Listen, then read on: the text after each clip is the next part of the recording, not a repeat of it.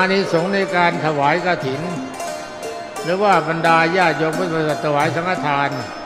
สังฆทานวันนี้ก็เป็นสังฆทานของกฐิน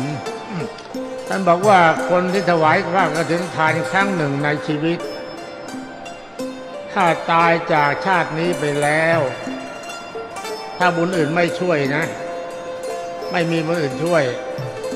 เอาเฉพาะอานิสงส์กฐิน ทุกคน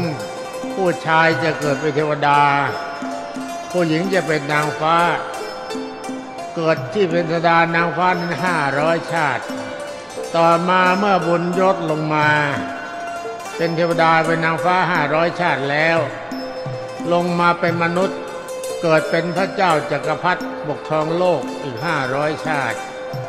แล้วต่อมาเมื่อเป็นเจ้าจักรพรรดิครบห้าร้อยชาติแล้วก็เป็นพระมหากษัตริย์ปกครองประเทศห้าร้อยชาติ